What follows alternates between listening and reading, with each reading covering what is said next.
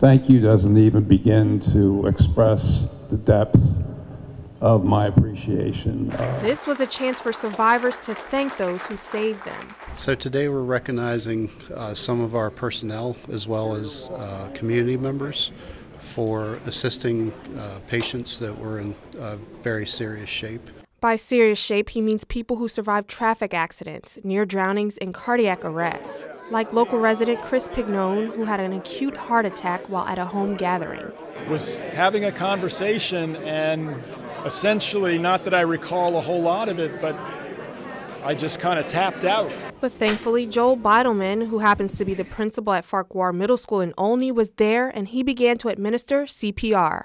So the good thing about us, we work as an emergency team um, at our school in Montgomery County. So we're all trained in CPR, and so I think because of that, we really had a calm demeanor and really tried to rally to strategically do what we need to do to save his life.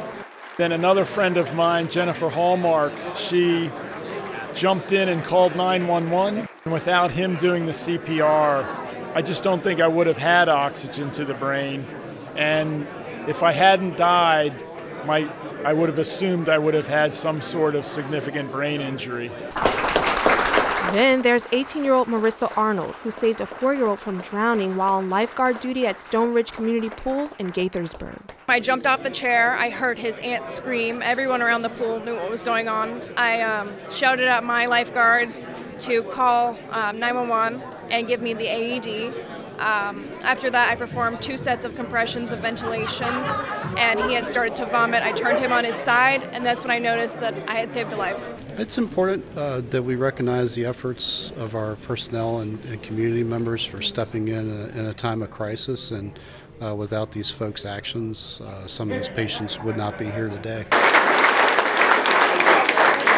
After hearing these stories of survival, one thing's for certain knowing how to administer CPR can possibly help save someone's life. Public CPR is, is critical to improving our survival rates. Uh, we're doing much better uh, today than we have ever done, uh, but that's the missing link is people recognizing a cardiac arrest and, and helping out their fellow citizens and doing uh, uh, good CPR and, and making a difference.